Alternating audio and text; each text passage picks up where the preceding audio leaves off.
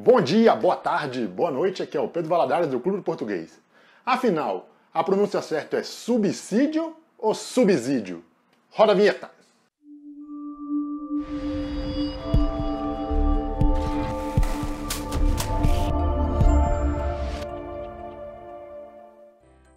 O S depois do prefixo sub sempre vai ter som de S mesmo, não de Z.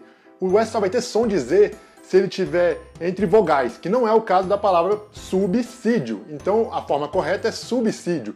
É o mesmo caso, por exemplo, de subsolo. É isso, pessoal. Espero que vocês tenham gostado. Se gostaram, clique aqui no joinha, se inscrevam no canal. Eu fiz um outro vídeo falando sobre a diferença entre vultoso e vultuoso. O link está aqui embaixo no, na descrição.